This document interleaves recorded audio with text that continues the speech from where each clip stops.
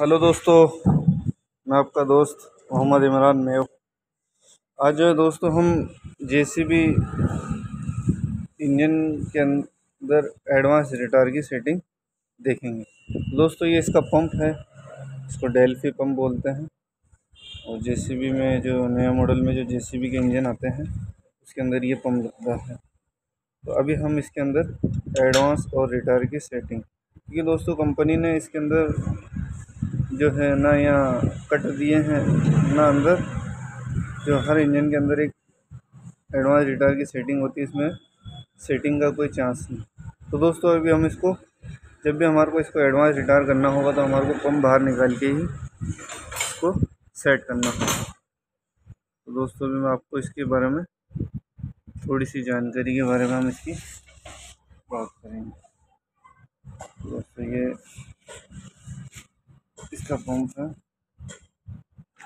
हम इसको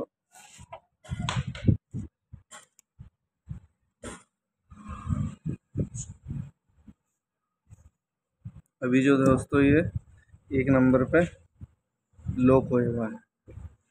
एक नंबर पिस्टन टॉप के एतबार से ये लॉक हुआ है। अभी दोस्तों ये एड जहाँ कंपनी इसको लॉक देती है उसी जगह पर। अभी अगर हमारे को एडवांस रिटायर करना है तो ये उसके बारे में हम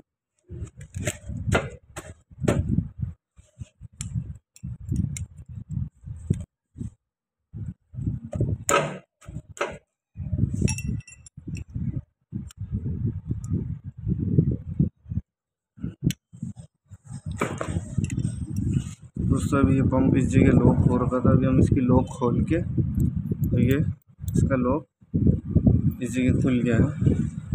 तो दोस्तों, अभी जो है, इसको अगर हमारे को एडवांस करना है तो फिर हमारे को ये देखिए दोस्तों, ये इस तरफ़ इसको हमारे को घुमाना होगा। इस तरफ़ ये एडवांस होगा और इस तरफ़ ये रिटायर होगा।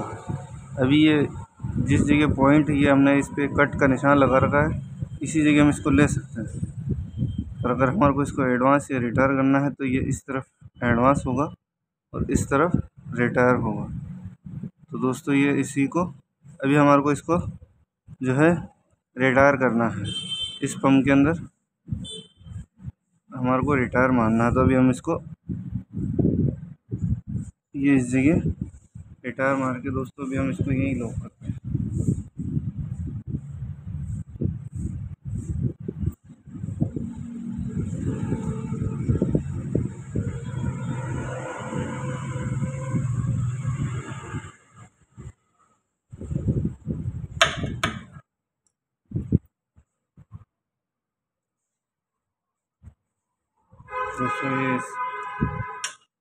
लोग, अगर हम लोग करते उस वक्त क्या है, नट कसने के बाद ये पत्ती, देखो ऐसे लूज़ रहती है तो मतलब ये पंप यहाँ लॉक हो गया तो अभी दोस्तों हम इसको रिटायर करके, और हम मशीन में लगाएँगे, फिर इसकी हम स्टार्टिंग देखेंगे।